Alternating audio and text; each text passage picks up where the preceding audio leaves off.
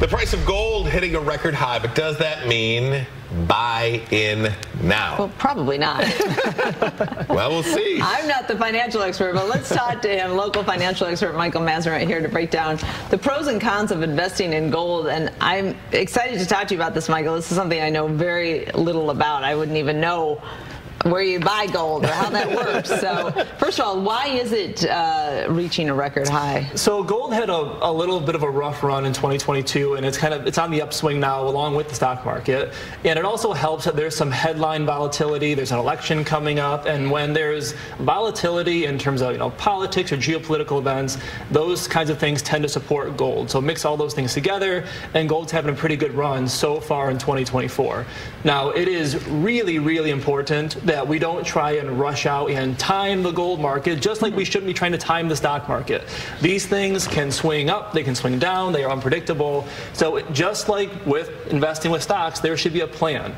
Why are we investing in gold? Are we trying to diversify a stock portfolio? Are we trying to hedge against inflation risk or geopolitical risk? There should be a plan for this, not just buying it because it's at an all-time high right now. So just because it is at a record high, eh, nobody's suggesting just buy it now, but nobody's suggesting not to buy it either because of that record high. It could keep going yeah. higher. This is just like mm. the stock market. No one knows, and I'm not going to make any predictions. I don't mm. know either. But if we're going to buy something, let's make sure we have a plan for it. What? Why would somebody buy gold versus investing in the market? So there are arguments to be made that gold can be. It's they, they call it a flight to safety. People assume that you know gold is a bit more stable. There's a bit less volatility. There's more demand for it. It's a commodity, and it's not tied to the valuation of companies or the stock market. Now that being said, for long term investments, I'm talking 10, 20, 30 years, the stock market tends to outperform the price of gold gold is just it's a it's a bar of gold. There's no companies with earnings or dividends or or producing more products or services. It's just a bar of gold. You're banking on down the road someone will want to pay me more for this bar of gold than I bought bought it for today. Hmm. But the volatility is that what you're trying to shy away from if you buy gold as opposed That's, to getting in the stock market? Yes that is the thought. There are points in time where gold has held up much better than the stock market. So the best example in semi-recent times is 2008 the stock market really struggled in mm. 2008 gold did gold held up really well then so it got a great name for itself.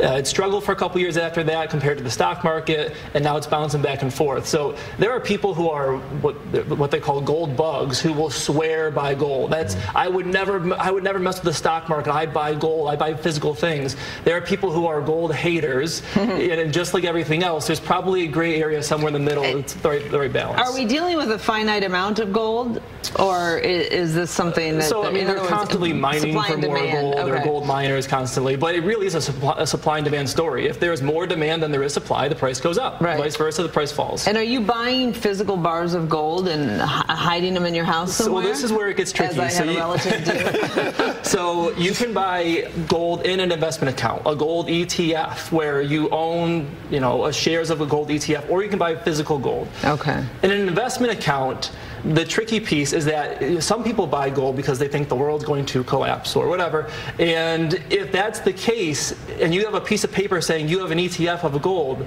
it's probably not going to do you a whole lot of good.